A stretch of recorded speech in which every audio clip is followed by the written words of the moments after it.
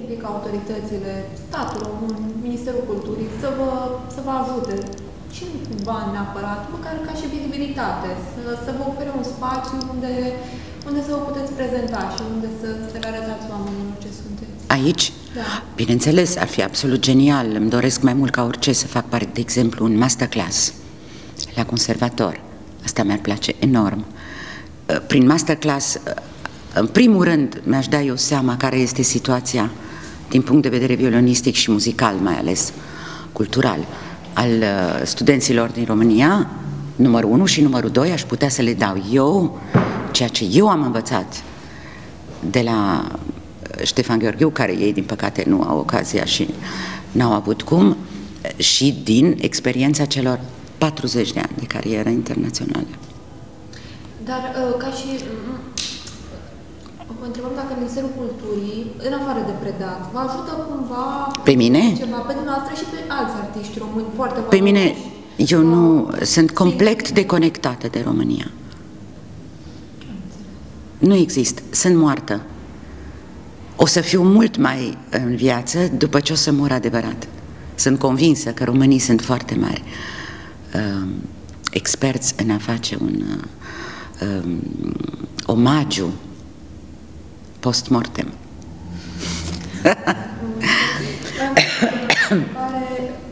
care poate fi un frumos. Ce, ce părere aveți despre Festivalul Enescu ca și eveniment cultural? Ce, ce aduce el României și ce aduce da. artiștilor români pe plan internațional, dar și local? E o întrebare foarte bună. Sunt două răspunsuri care, uh, unul care este obiectiv uh, corect. Al doilea răspuns, care este o problemă care mi-o fac eu, care se poate discuta, să începem cu partea pozitivă. Este clar că România vrea să se afirme din punct de vedere internațional în lumea muzicală și reușește, chemând într-un scurt timp tot ce există cel mai bun din orchestre, dirijori și soliști ce există pe piață la ora actuală.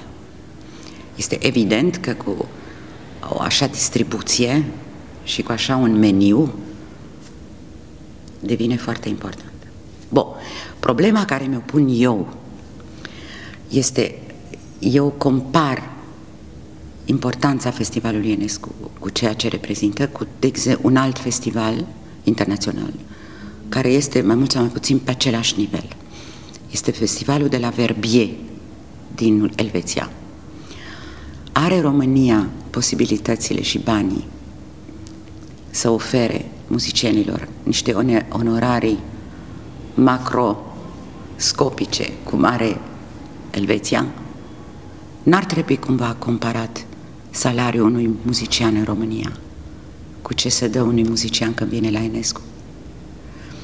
Există o relație între situația României la ora actuală și ceea ce oferă pentru Festivalul Ionescu la anumiți artiști, nu la toți. Mă întreb, evident, din punct de vedere renume internațional, este fenomenal. Apreciez enorm organizarea. Vreau să spun că este făcut de o manieră formidabilă. Tot ce s-a făcut în piață, cu muzică și cu uh, cărți și cu discuri și cu tot. Este absolut extraordinar. Felicitări! Dar necesar la așa un nivel, mă întreb.